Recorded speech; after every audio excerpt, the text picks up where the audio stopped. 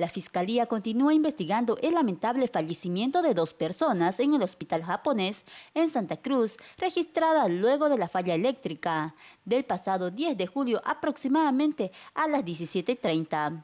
El fiscal asignado, José Parra, indicó que notificarán a los funcionarios del hospital japonés, la gobernación y a los funcionarios del Servicio de Electricidad CRE durante esta jornada. Estamos en una etapa de investigación preliminar. Se ha abierto un caso de oficio por el delito de homicidio culposo. Se ha mandado ya un requerimiento a la, cooperativa CRE. CRE debe informarnos si el hospital japonés le ha informado sobre el cortocircuito que dicen o algún defecto en el sistema eléctrico. Y por su parte se ha enviado también el requerimiento al hospital japonés para que informen a la fiscalía eh, en qué circunstancias se produce la muerte de estas personas.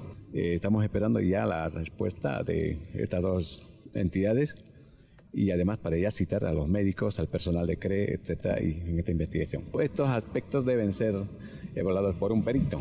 Eh, la fiscalía, dependiendo ya los, a los informes que reciba, va a solicitar una serie de investigaciones periciales como corresponde en este caso, toda vez que estamos hablando de un sistema eléctrico que amerita el concurso de especialistas en esta materia. El portavoz del hospital japonés informó que siguieron los protocolos tras el corte de energía eléctrica para precautelar la vida de los pacientes que se encontraban en situación crítica y aseguró que el generador de energía eléctrica en el hospital japonés recibe un mantenimiento preventivo mensual por parte de la Cooperativa Rural de Electrificación CRE. Se realiza el mantenimiento respectivo recibe de la Cooperativa Rural de Electrificación CRE un programa de seguridad hospitalaria, el mantenimiento preventivo mensual del grupo generador de corriente, quienes verifican y nos garantizan el buen funcionamiento del mismo.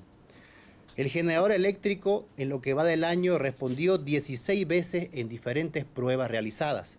Funcionarios del hospital realizan los controles respectivos diarios para garantizar el uso adecuado de este equipo.